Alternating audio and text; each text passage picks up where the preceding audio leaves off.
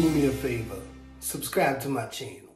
Hey everyone, Kyle here from Poseidon's Pets. So I've got a short video for you today. What I want to do is show you my new setup for storing RO water. So I go to the store and I purchase RO water. I don't have an RO system myself. It's something that I want to get in the future, but as of right now, I don't have one. So I have to go down and carry this water in five gallons at a time. So normally what I've been doing is just storing five or 10 gallons and you know that's been good for me with my one shrimp tank, but now that I have multiple tanks running on RO water, it's not enough water for me. So I'm gonna be upgrading my system and I wanted to walk you guys through the process and how this is gonna make my life easier. If you haven't already, do yourself a huge favor, hit that subscribe button, hit the like as well, and leave me a comment down below how you use RO water, how you store RO water, what you have found to make your life easier. So we'll get right to it. All right guys, so to get this started, I just wanna show you what I have set up right now. So for your shrimp, you wanna make sure that you age the water for at least 24 hours. So after I pick up my RO water, I remineralize it. And in a five gallon container like this, I use one and a half scoops of the Shrimp Mineral GH and KH Plus. So that gives me a TDS of right around 199, 200. After I remineralize it, I turn on the air stone and I just let the water circulate. And I do this for about 24 hours before I do any water changes. So with doing it this way, I only have about five gallons of water on hand at any time.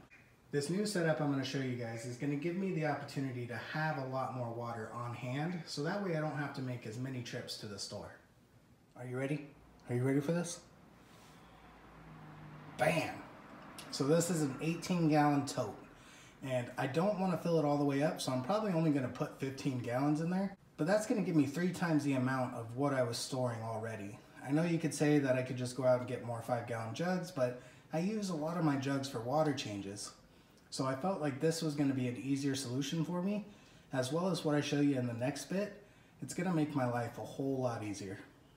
So this was purchased brand new. I've already rinsed it out so that way there's no dust or anything in it from the store I bought it from. So I'm gonna take my remineralized water that I already have and dump it in there.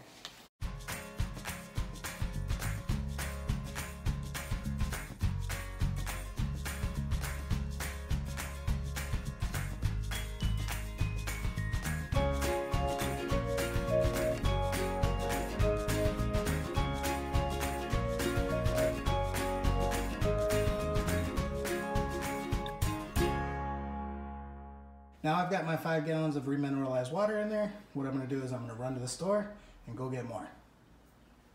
All right, so I just went to the store. I got 10 more gallons of RO. So I am only gonna put another five gallons in here, so 10 gallons altogether. The reason for that is I wanna save five gallons for my top offs. Because for top offs, you don't wanna use remineralized water, you just wanna put straight RO in.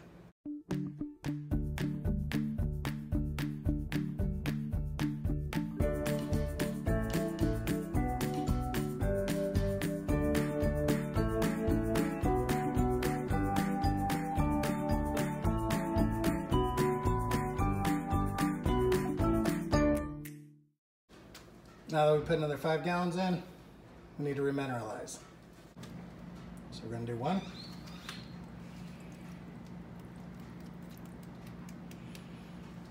And a half.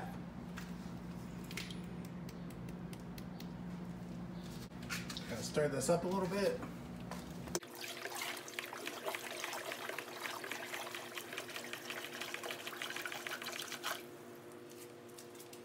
So another reason that I am not going to use that last five gallons of RO is as this sits here and bubbles, it's gonna evaporate.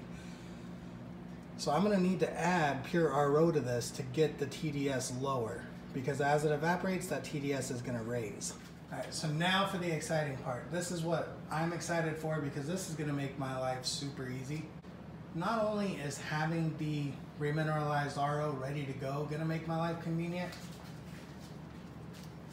but I went out and I got a power head. So now with this power head, I can put it in there, I can plug it in, and I can fill up any container that I need and any measurement that I need to get the amount of water that I need. So just to show you guys, got my power head, got my container, and I got my hose. So this, whoops, wrong end, is gonna attach to the end of the power head. And then all I have to do is pop that into the bucket. Let's make sure we're not getting water everywhere. And then plug it in.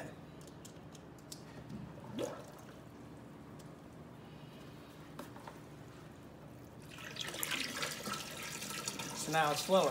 We're good to go. Take my container. And if I fill this up, that's a gallon. So however many gallons I need, I just continue to fill this up. So simple. Makes my life so much easier.